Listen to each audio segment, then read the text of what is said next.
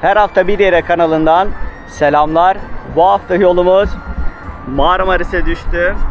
Fakat bu videoda sizlere Marmaris'in doğal güzelliklerinden, plajlarından bahsetmeyeceğim. Marmaris'in manevi değerlerinden biri olan Sarıana efsanesini sizlere anlatacağım. Hemen konuya ufak bir giriş yapayım. Kanuni Sultan Süleyman Han zamanında Kanuni buranın daha doğrusu Akdeniz'in bir Türk gölü haline gelmesini istiyor. Ve e, Rodos seferini gerekli kılıyor. Osmanlı sultanlarını bilirsiniz bir sefere çıkmadan önce ve sefer esnasında e, ulu kimselerden, ermişlerle böyle konuşmayı, fikir alışveriş yapmayı severler. Buraya geldiğinde e, de aynı böyle insanlar arıyor ve e, Sarı bir görüşmeleri oluyor. Yani halk burada kendisine diyor ki işte bir Sarı Ana'mız var kendisiyle görüşelim şeklinde.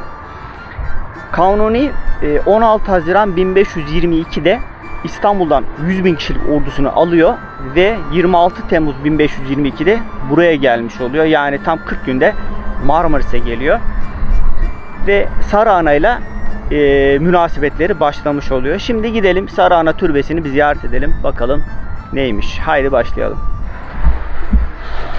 Evet dostlar Sarı Ana'nın türbesinin bulunduğu yere geldim. Ee, şimdi biraz Sarı Ana'dan sizlere bahsedeyim.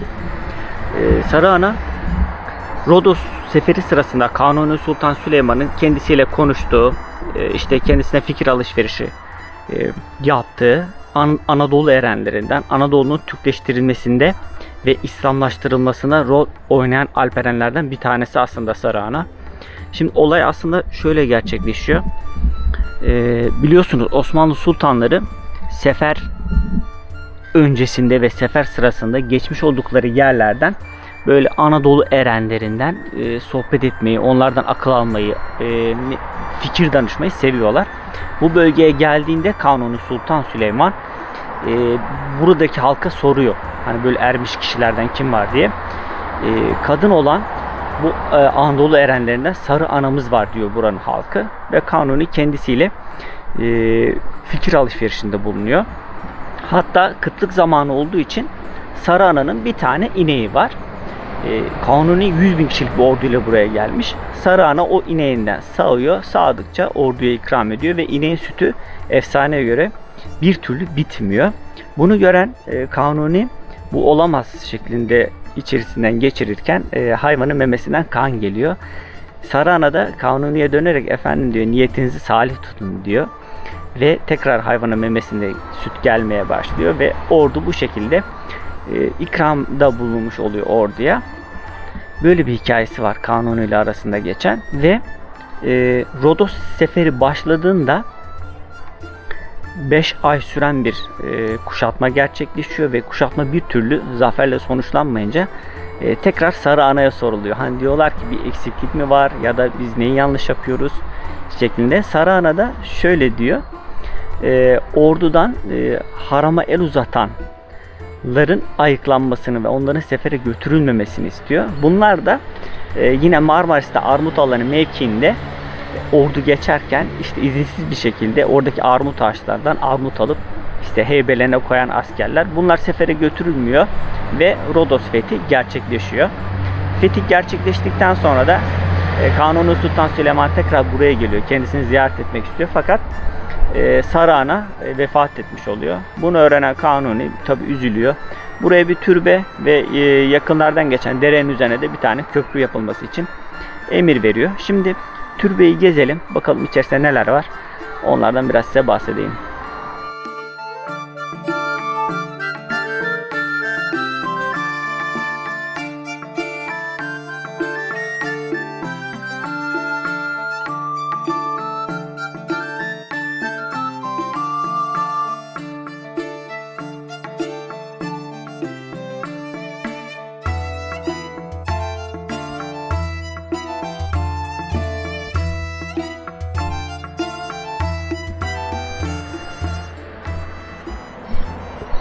Şimdi türbenin girişindeki e, kitabelerden sizlere bahsedeyim. Girişi oradan yapalım.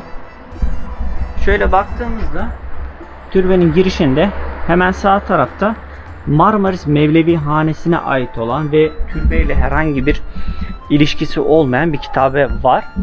Bu da sanırım şöyle olmuş. Bu Mevlevi Hane yıkıldığında hani bu kitabe kaybolmasın diye bunu almışlar ve buraya yerleştirmişler. Burada böyle bir kitabesi var. Hemen yukarıda bakın şurada ya Hazreti Mevlana yazıyor yukarıda ve Mevlevi sikkesi var. Biraz daha şöyle yakınlaştırayım.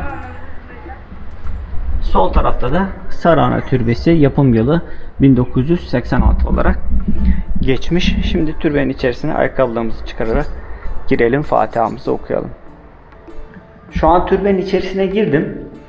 Ee, 1986 yılından önce burada bulunan türbenin ve mezarın üstü açıkmış ve Marmaris'i gençler askere gitmeden önce buradaki mezarın üstündeki topraktan bir avuç alırlarmış. Askere gittikten ve görevlerini yerine getirdikten sonra almış oldukları o toprağı gelir tekrar mezarın üzerine bırakırlarmış. Fakat e, üstü kapatıldıktan sonra 1986 yılında üstü kapatıldıktan sonra e, bu adette unutulmuş. E, bu tarz türbelerde mantık şu bir sanduka var ama asıl mezar burada değil onun altında sanduka geleneği de e, ilk defa Emeviler zamanında işte 650 ile 750 yılları arasında var olmuş Emeviler zamanında ortaya çıkıyor sanduka geleneği.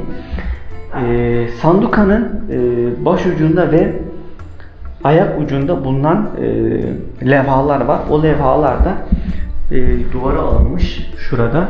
Bir tanesi Arapça, diğeri Türkçe. Gerçek bendeyim, sarı anayım, her gönüldeyim, sarı anayım. Elimde kirman, dilimde zikrim, Marmarisliyim, sarı anayım.